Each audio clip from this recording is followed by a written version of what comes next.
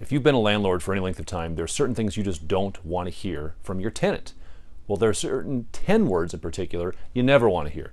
And those 10 words are this getting a service animal, and uh, by the way, it's a turkey. Now, have we experienced this? Not yet, but I know property management companies that have actually had this conversation with tenants. You may not think it's legit, but look at this real life, actual picture taken on an airline, I believe it was a Southwest airline, from when a person turned around to hear to see what the noise was behind them to discover there was a service turkey sitting in the seat behind him so they snapped a picture of this. This is real stuff. It's it's humorous it's sad it's weird but it's real.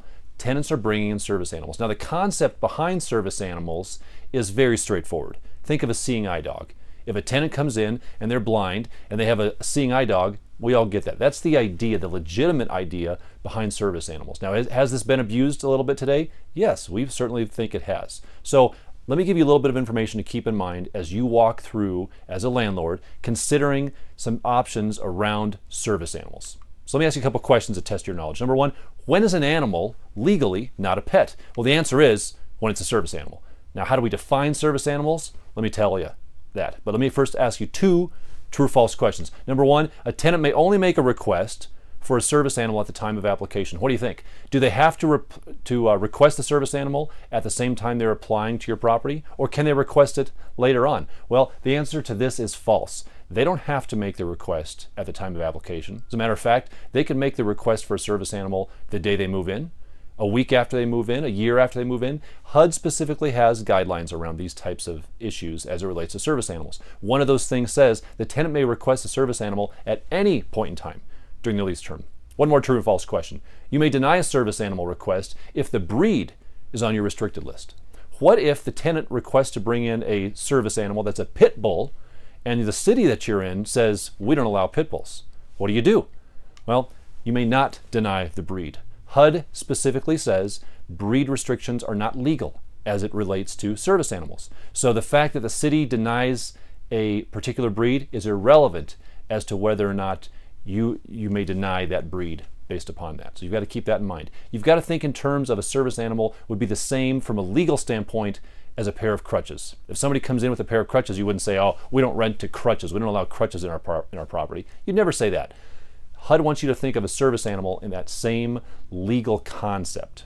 Now, what you have to do, because HUD does have some guidelines around how to treat that request for a service animal and you treat it legally as a reasonable accommodation modification request. And that may not mean anything to you, but it means something big to HUD. What that means is they have guidelines on how you want to treat that. You treat it in the same way as if you would treat it if a tenant came to you in a wheelchair and said, I would like a wheelchair ramp to be installed to lead up to my front door because I'm in a wheelchair and I can't get up the two steps.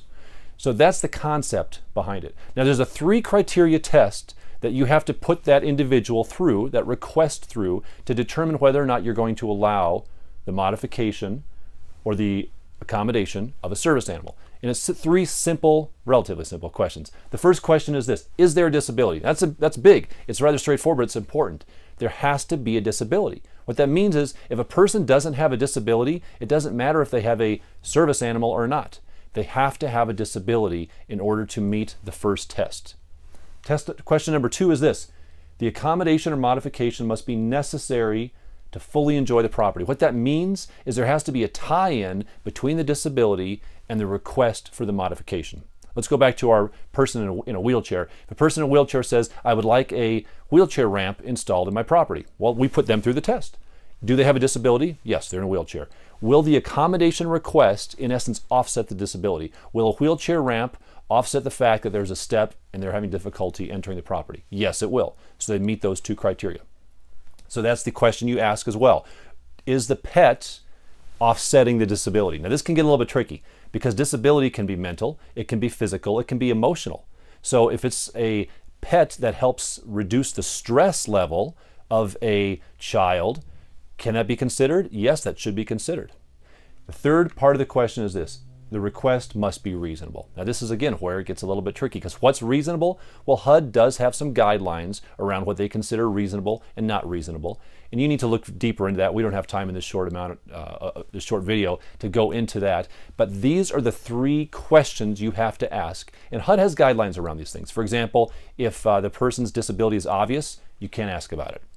So be cautious with this stuff. So let me ask you one final true or false question. The landlord may charge an additional security deposit for a service animal. So let's say you're going to approve the service animal and you say to the tenant, of course, you can go ahead and bring in your service animal, but I'm going to charge you additional pet deposit. What did you just say wrong there? What did I just say wrong there? Remember, it's not a pet. Legally, it's not a pet. So, false. You may not charge any type of an additional rent amount, any type of an additional security deposit for bringing in a service animal. Why? Because it's not a pet.